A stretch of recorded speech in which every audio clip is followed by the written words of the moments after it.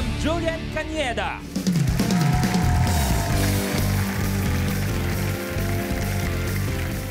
At ang makakabattle ni Julian, ang Pinoy Pride of Guam, Charlie Catbagan.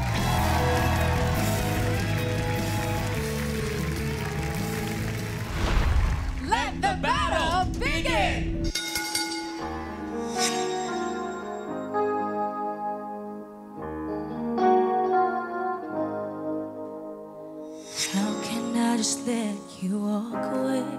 Just let you leave without a trace. When I'm standing, taking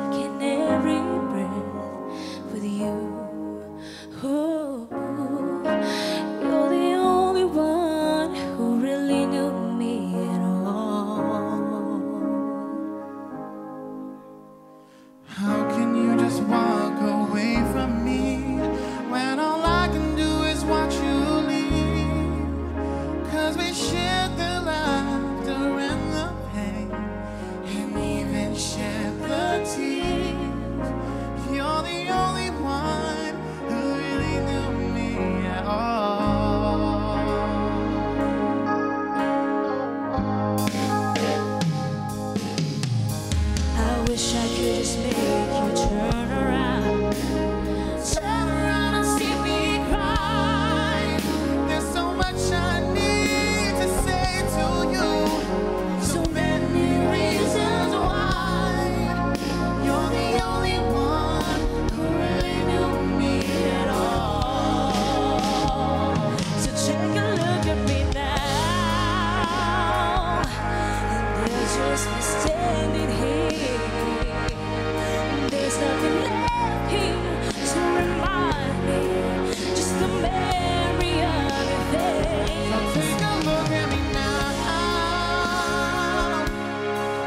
Just an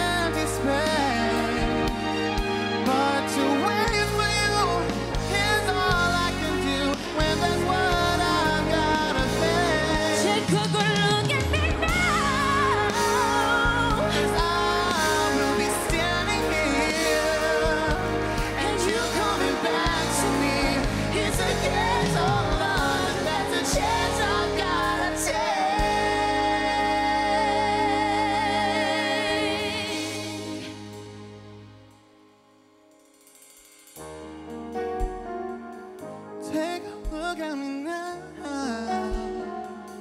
Take a look at me now. Take a look at me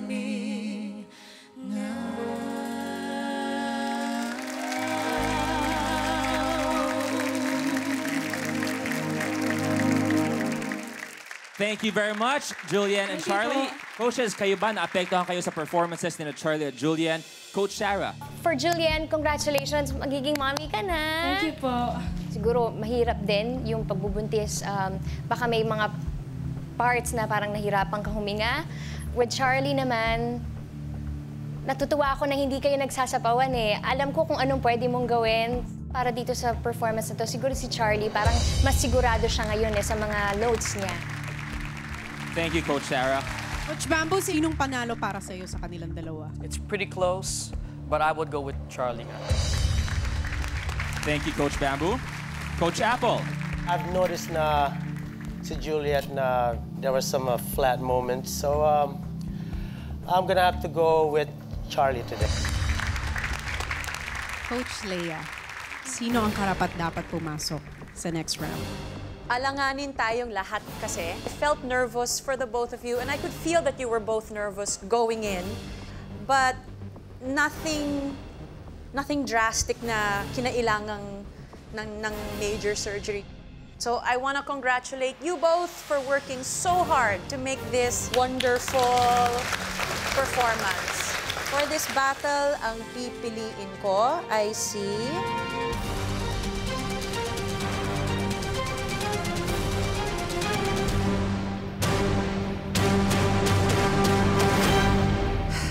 Charlie.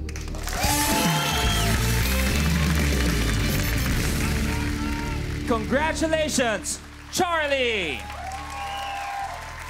Maari ng agawin si Julianne. She is up for Steel. Yes, uh, salamat po at uh, marami po akong natutunan sa inyo kahit uh, ganito ah, proud na proud po ako sa sarili ko na naka- nakatungtong ako dito. Julian, maraming salamat sa pagiging bahagi mo ng The Voice of the Philippines. We wish you all the best and of course to your baby.